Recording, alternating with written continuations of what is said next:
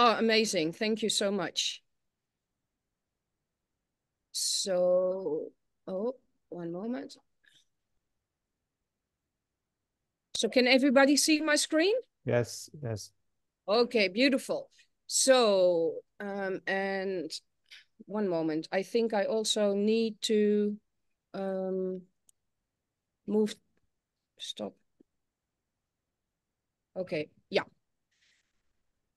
I'll, I'll have to do it like this. Otherwise, I can't use uh, my mouse anymore. Um, sorry.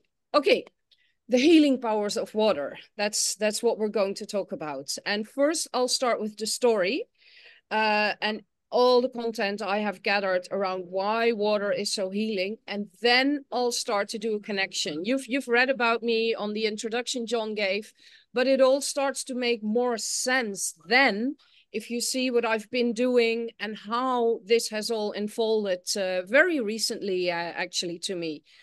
Um, so yeah, let's let's just dive in. Have you ever wondered when you shower or when you have a swim, why you feel so energized afterwards? Just answer that question for yourself. And we don't have a lot of time, but I would love to hear some answers. So so just put them in the chat so I can read them back later. But I, I wonder if you have wondered, if you know why this is the case because it's not only because we feel the trickle of water on our uh, on our uh, skin. There's a whole lot more going on. But that's what I'm going to explain. Because if you would be able to put on a different lens on what nature really looks like, really looks like, it would look like this. This is what you would see. You would see energy everywhere, all around you. It's beautiful. And um, but most often we're not aware of it. We know that when we go walking in the forests, uh, that we relax and that we feel better, that we uh, that our mind quiets, that we can connect more to nature. Well, this is why, and the same is the case for water. But we're even less aware of that because less people swim, um, and there's less knowledge around it. So, what is water? This is water. It's two molecules, molecules of hydrogen, one molecule of oxygen. But there's something else added, and that is energy. But that is what we cannot see, but it's there. It's not a chemical substance, energy, vibration. Okay? But water absorbs energy from various places, from the sun and from the moon. That's where it gets its reviving energy from. But it also, and that's that's nowadays, uh, it, it absorbs energy from other places and, and other energies and vibrations, satellite, uh, satellite communication, cell phones, air pollution, uh, nuclear radiation, radars, chemicals, all of that vibration, not chemicals, vibration is stored in water. Pollution, yeah. And that and chemical uh, pollution, yeah, that is that's in water. But you cannot see the the pollution of cell phone radiation or satellite communication, but it's there. So what does regular water look like? Regular water looks like the left. Uh, you see the molecules, they're they're moving and moving and vibrating and vibrating and na na na na na and they're interacting and, and shooting energy towards each other but they are in a chaotic state. It's not coherent. And when you look at the right you see all the molecules are aligned. They're all in a similar state. They're all nice and quiet that's coherence it's coherence water and everything in nature is looking for coherence, for the coherent state. Besides the fact that we have pollution, this is another thing that is going on on an energetic level with nature. Um, so our body also wants to be in a coherent state. But as you know, all know, uh, we consist 70% of water, but then there's also a lot of other molecules that uh, contain parts of water. So 99% of our body is somehow water. And if all water and all nature is looking for a coherent state, so is our body.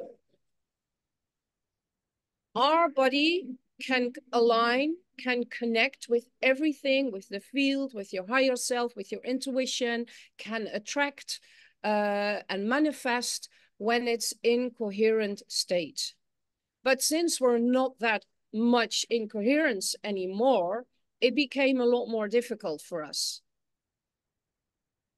So I started, and, and this is all knowledge I gained after I um, discovered that I can heal people in water. So because this is what, what, what the story is about.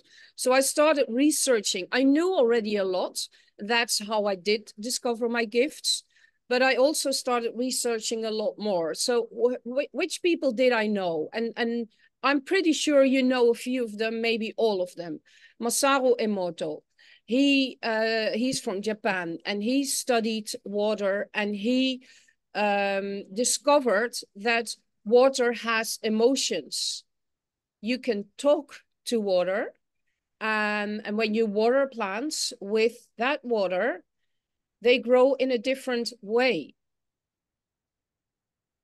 Many people uh, didn't believe it, so he had a hard time. He found a way of photographing how water crystallizes, what water looks like.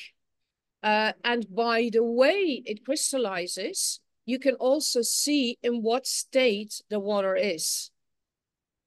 Veda Austin is a lady from New Zealand. She's a water crystallographer, and I found out about her after um, I knew that I have water healing capacities. She studies water on the, the phase where it becomes liquid ice. So you have a petri dish, you put water in there, and when it starts freezing in your freezer, there's a moment when there's a thin layer of ice on top of the water and there's still water underneath. That is the crystallizing moment um, when water becomes crystalline. And maybe you're familiar with the fact that crystals are the Earth's communication source. Well, water has a crystalline structure in itself as well, but it only shows when it freezes. And that's what she did. She and, I'll show you some remarkable results later on. It's it's for me, it's no doubt that water has intelligence, that it communicates, that it has memory, uh, and that's what she proves. So Rudolf uh, Zantinger, um, I haven't found where he lives, but he speaks Dutch, so he probably is from my country because I think he lives in Germany, but he has no German accent. Um, he found out, uh, he researched a lot of this stuff. And the images of the coherent water, those are his. Um, so they found out how to restore water in its initial uh, way with the initial energy initial state, how it was before it had all the energy it shouldn't have. Um, and they put that in a crystalline tube and you stir that in water and that water becomes coherent. So the molecules are coherent. They have studied uh, people who drink it and when they drink it for one month, their uh, vitality has increased and their uh, um, I don't know the word in English, but the the long the the the amount of years that you live had increased from one year to uh, 12 years. When they uh, drank it for three months, it even increased more. They water plants and greenhouses with it. The fruit tastes different. The fruit is coherent fruit. The vegetables are coherent vegetables they've um, proved that in their lab. And then we probably all know Samuel Hahnemann. He was the one who uh, found out about homeopathy. Uh, you put a herb in water, uh, you take the herb out, well, before you stir a lot, so that all the energy and the information of the herb is in the water. You stir it, you uh, remove the herb, so the herb is not there anymore, but the people still cure And then they they take a few drops of the water, put it in new water, stir it again. And this is a process that they do and do and do. So there's no, it's it's not measurable anymore. Still people cure because the energy is still in the water. So this is a lot of important research foundation that people did. And I knew about homeopathy. I knew about Masaru Emoto. I knew about the next one, blue solar water. I use it since two years. When you buy a blue glass bottle, and you can all do this at home, um, it has to be glass, not plastic. So always when you drink your water, coffee, water, um, tea, drink it in a glass, not in a plastic mug or cup. But when you put a blue bottle outside, fill it with tap water, put it outside in the sunshine for at least 10 minutes, it becomes more coherent. It restores the solar energy. And because blue is the original color of water, the memory the water has around the color comes back you can taste the difference. It tastes sweeter and it's a lot more healthy than normal tap water. So you don't need to buy expensive water filters uh, to uh, to clear clear your water. So here are some slides, uh, some research that Veda Austin has done. She does the Petri dish uh, tests. So the, the left image, now I need to put on my glasses. She put music on of sailing from Christopher Cross. This is what she found in the water that crystallized. Same, and she did lots of studies. She has uh, tens of thousands of these uh, images. All eyes on me. And this is what showed.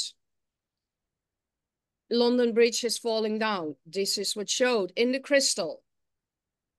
She put an egg in the in the petri dish before the water uh, before she put it in the freezer.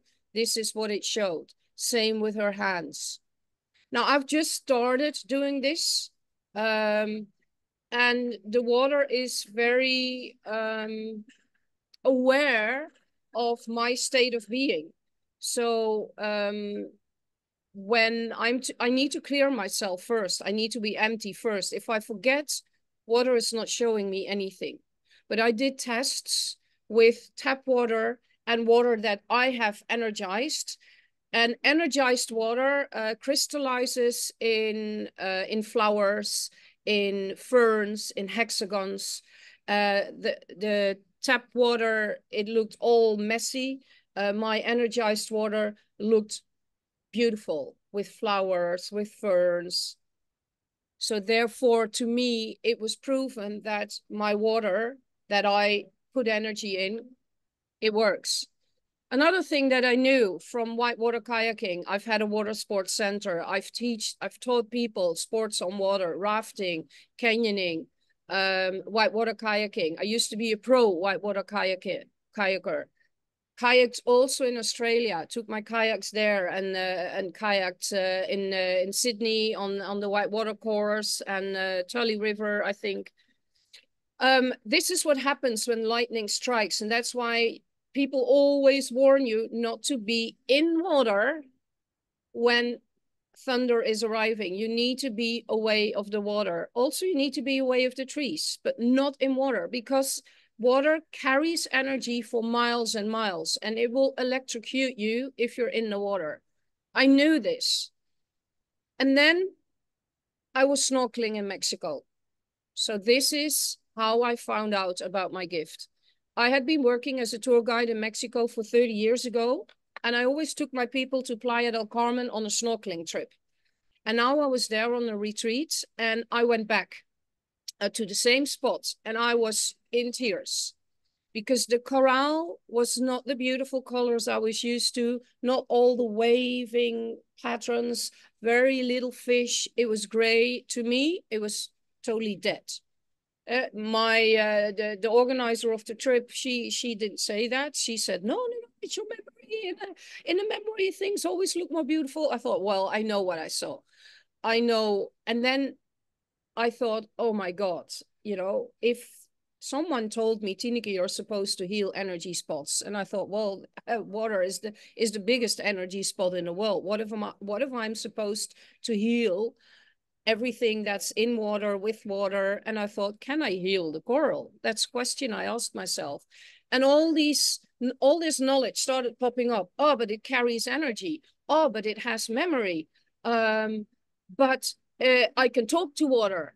Uh, so what if I give the water my energy and I say to the water, hey, listen, you remember what it looked like 30 years ago. Can you make sure that the coral uh, comes back in the state it was, also has the memory it used to have and restore itself?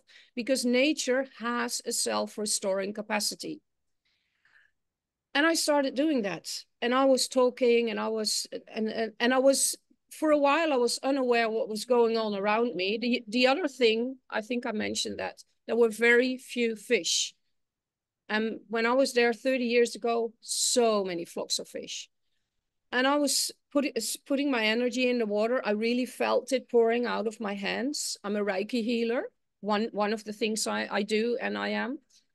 And um, I thought, wow, this is working. So I was talking, not not talking, eh, because I was underwater, but with my mind to the to the coral and to the water. And then I became aware of all the fish that was circling around me. There were lots, like an, an enormous amount of fish.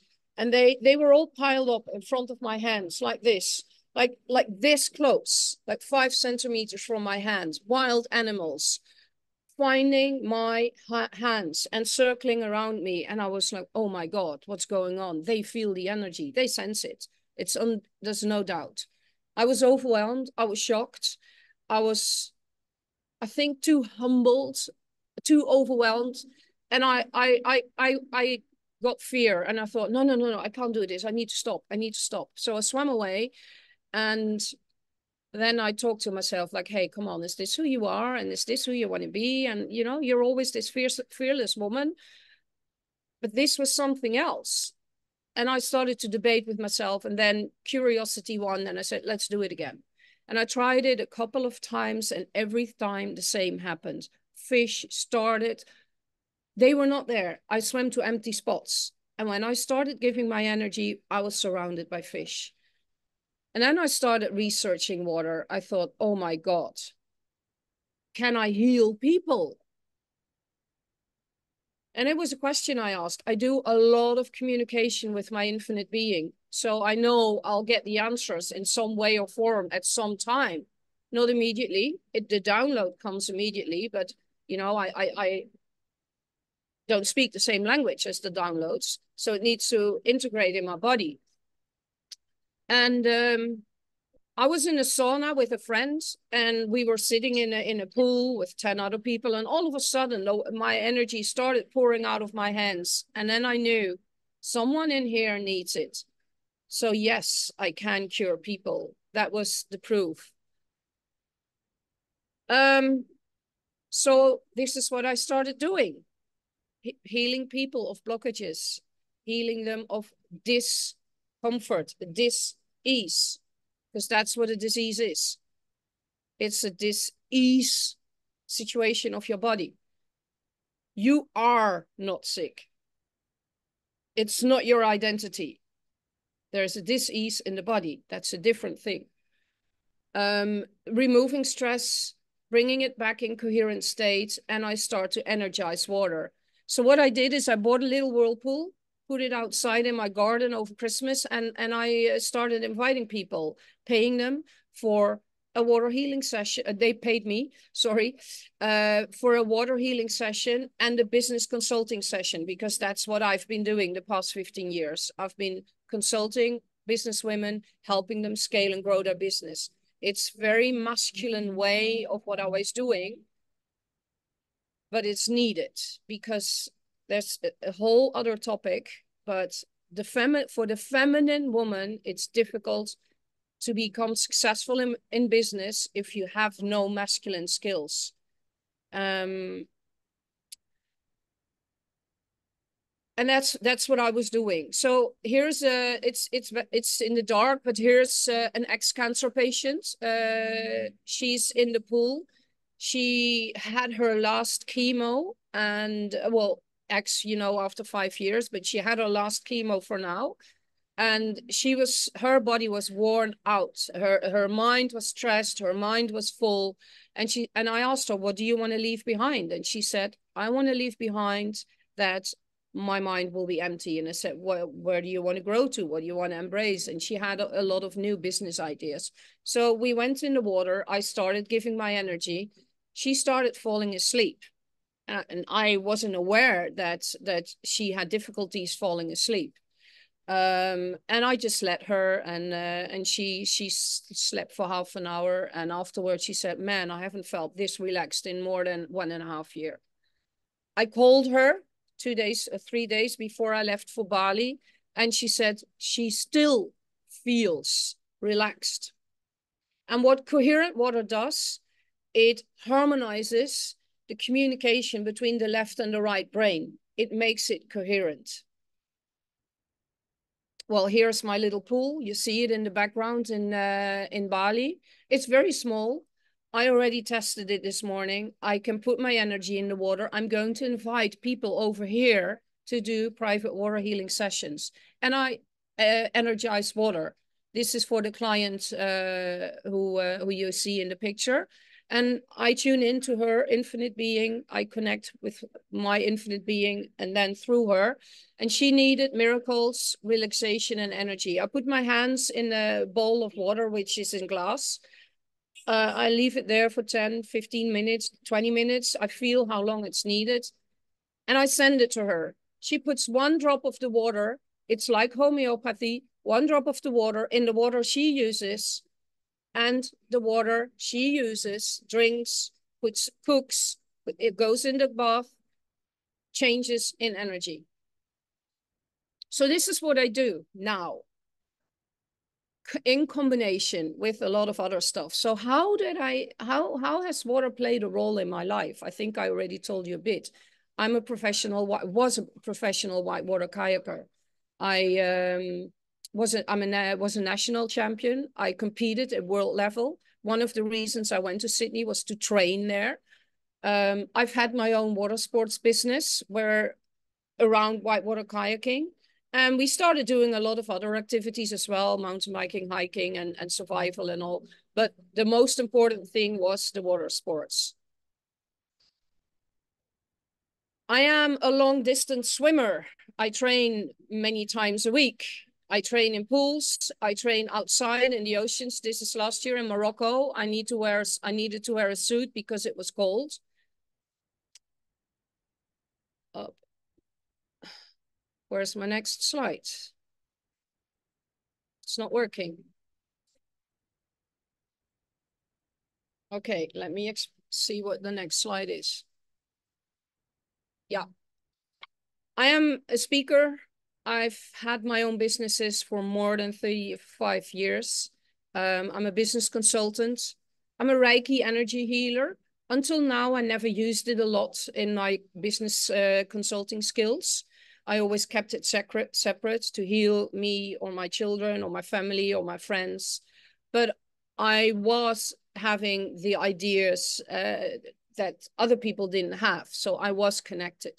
I'm a water healer, author of two books, and I harmonize, another thing that I do, harmonize within people the masculine and feminine energies. So water has always been my joy, my pleasure, my way of living, my way of income for many years. And now I am a water healer. Water is back in my life and I am so grateful, so grateful for it. And if you want to know more about it, I'm hosting a retreat here in Bali. It's March, March uh, 3rd to 8th. We will be doing water healing sessions every morning near, um, near our private villa, which I rent.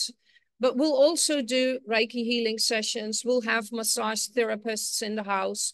I'll do business consulting masterminds with you. We'll go out in nature to waterfalls where we also do water healing sessions.